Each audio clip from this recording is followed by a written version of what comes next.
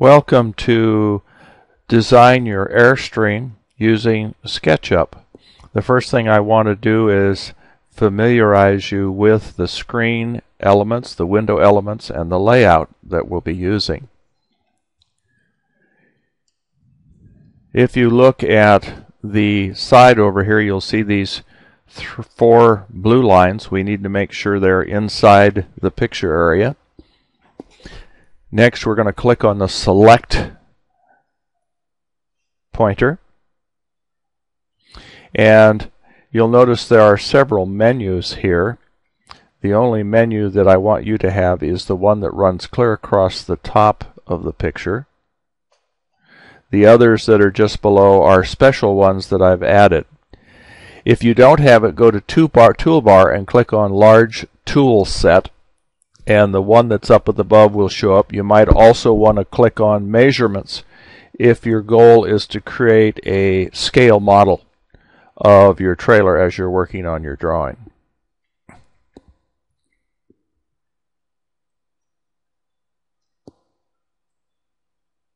The next thing is working with these. If you click on the blue styles line, you'll notice it opens up a menu that has the things we're working with. Click on the house and it'll bring up the particular style that's in the window.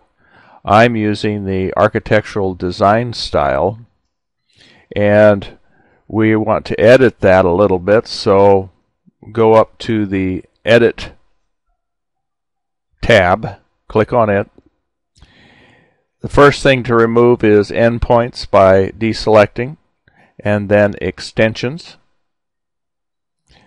and then on profiles, we want to change the 2 to a 1. Highlight the 2, type 1, and enter. Now we can go up and close the style box by clicking on the blue bar.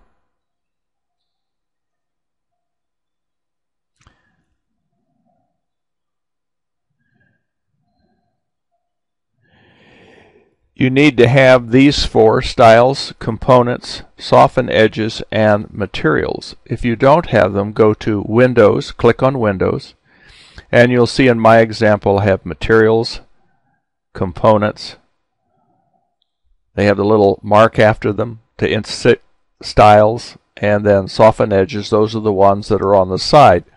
If you clicked on another one, it would make another one appear in the line of blue lines for the windows of tools.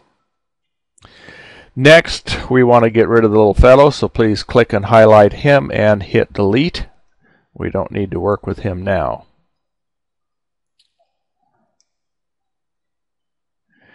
The next thing we want to do is we want this green line for that axis to be almost parallel with the screen.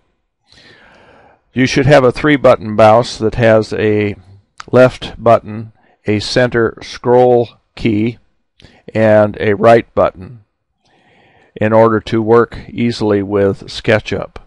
And what we're going to do is push on the scroll button, and you see you get the little move tool. Then next, click on the scroll button and hold down the shift key. And you'll get a pan tool, and you can move this all the way across and then again the scroll or middle button.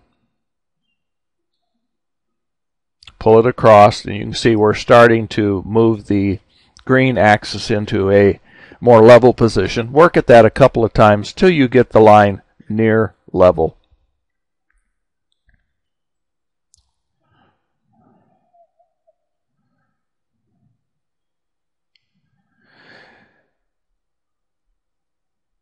Next we're going to draw our first shape which is going to be a square. This is the tool up here. It looks like a little square. Click on it. Left click. And you'll notice our pencil tool now has a little box next to it which means that it will be drawing a square shape. We're going to bring it down to the corner of the three axis. You'll notice the little dot changes to yellow. Click and hold the left mouse button and then drag towards the upper right until you get a pretty good sized box. Now let go of the left button and there's our square. We're going to use this square to place a picture of our trailer, hopefully that you have saved earlier in a file that you can now find. So click on File.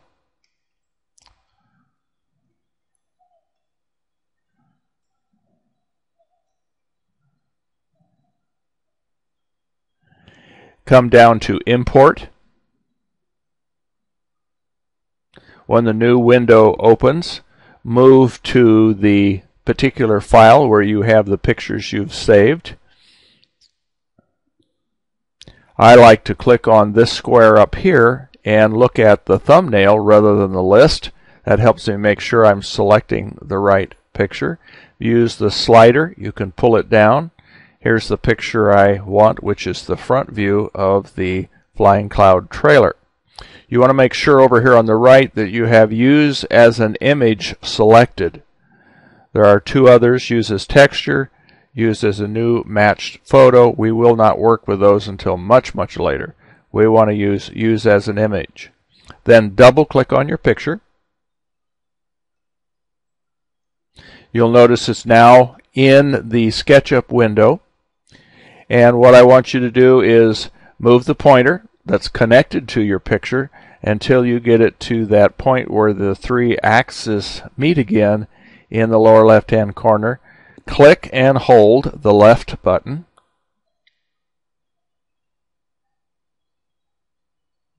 And you'll notice the trailer gets really, really small. Now you need to drag your mouse towards the right, which will be enlarging the picture until you get it over to the edge. Now release the button. All right. We have the picture attached to that square that we drew. You may have one side larger than the other. I have the type that's large. You may have the line on the right hand side that's too big. If you do, what we need to do is move one of those in so they line up with either the top or the side of the trailer.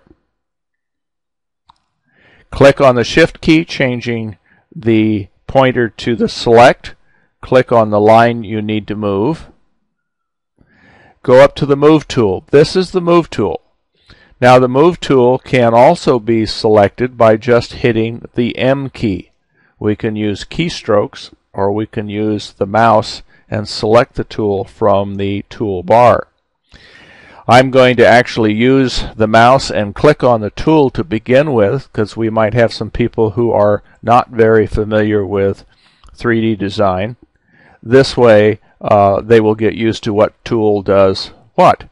However, as we move along and get more in practice, we'll be using keystrokes more all the time because it's faster and more convenient. Okay, the symbol is changed to black, but it's still the same picture. I'm going to slide it over to this top edge where the vertical line that shows the vertical axis is located. This is important because I'm going to use it for the movement reference. If I didn't, it would be very easy to distort that original square, and I'll show you that. Notice by once I clicked on it, if I move that around, the rectangle distorts and moves around. If I keep it right on the blue line, when I move it down, I can bring the line right to the top of the trailer. Everything's nice and square. When I've got that down, I'm going to release the button. Now we want to change back to the select tool, so I'm going to hit the space bar and I have the select tool instead of the move tool. I want to move this image around so we're looking at a little bit more from the side rather than straight on.